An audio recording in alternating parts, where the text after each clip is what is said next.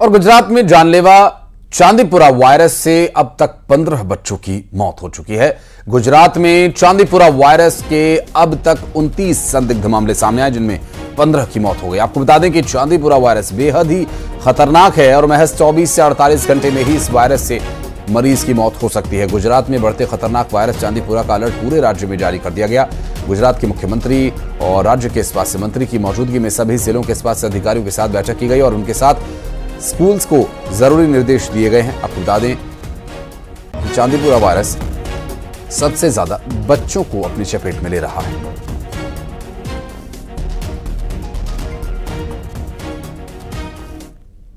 चांदीपुरम वाला, जो भ्रम फैलाया गया था, भ्रम फैला भी हुआ था, वहाँ पर ये जो परीक्षण के लिए जो सैंपल पुनः भेजे गए थे, उनमें सात के अभी परीक्षण आगे आ भी गए उसमें एक ही पॉजिटिव कंफर्म हुआ है। बाकी के छह नेगेटिव है। ट्वेंटी uh, नाइन जितने केस रिपोर्टेड हुए हैं करीबन चौदह और आरआईएल के सीएमडी मुकेश अंबानी के बेटे अनंत अंबानी की शादी पूरे हिंदुस्तान में पूरे